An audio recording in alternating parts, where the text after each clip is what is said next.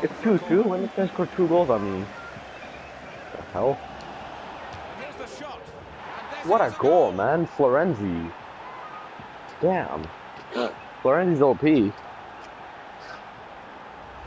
I don't go that far from the Nice.